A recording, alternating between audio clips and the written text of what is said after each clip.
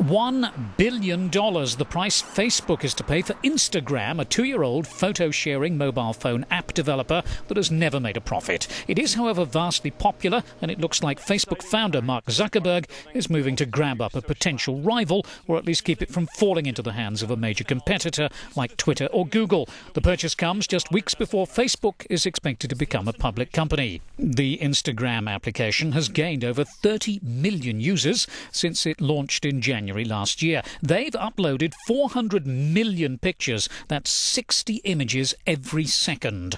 The company has just 13 employees.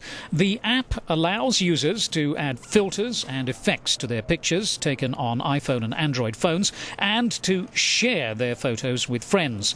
The deal highlights the rising stakes in the social networking market, in which services such as Facebook need to constantly excite consumers with new features and mobile applications.